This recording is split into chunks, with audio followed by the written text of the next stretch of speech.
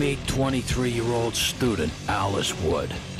Now meet her fiance, 24-year-old charity worker Ryan Watson. Now, although Alice is tasty, it's safe to say she's also temperamental. Emphasis on the word mental. Case in point.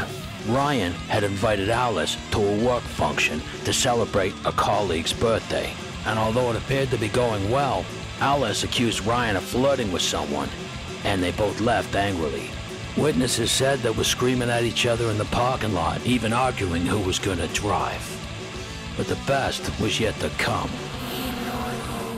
Because when Alice dropped Ryan off at his car, instead of saying goodnight and reconvening in the morning when cool heads prevailed, Alice had different ideas, and she started trying to run her beloved over. And if first you don't succeed, try, try again.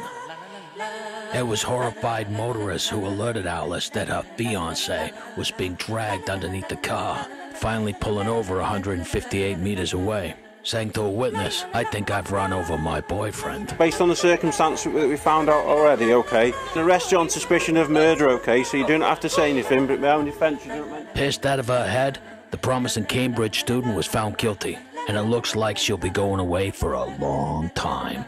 Ain't love a bitch?